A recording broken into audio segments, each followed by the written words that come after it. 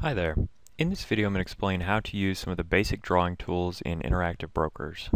So once you're on the charts, what you'll do first is select Edit, and then in this menu under Annotations you'll have the different drawing tools available to you.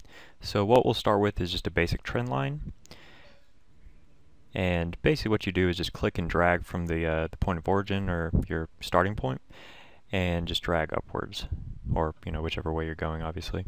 Uh, so I'm not going to say this is the prettiest trend line, but uh, kind of gives you the idea of how that works.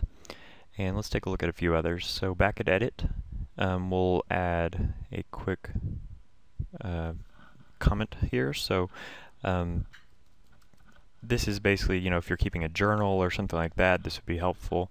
Uh, you can kind of, you know, add notes to your chart. Once you've added your note, you'll get this box and you basically just show where you want to put it. A um, few other things to highlight here. Um, you know, I think this is a pretty uh, neat feature, at least that is built in. Now there are, you know, third parties and stuff like that that you can do, but this is kind of handy just having it right there built into the platform. Um, so say you're trying to highlight something specific, you know, just for your reference later, um, like, okay, well, let's see how this reacted to a squeeze, and, you know, kind of point that out. Um, so just few other things here we'll look at. Um, the Fibonacci retracement extension tool.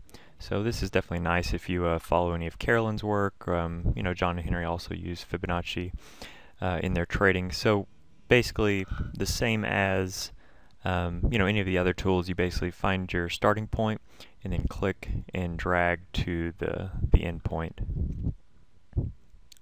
And uh, not really going to go over you know how to use this tool necessarily, but that's um, that's kind of the gist of it. So anyway, I hope that helps.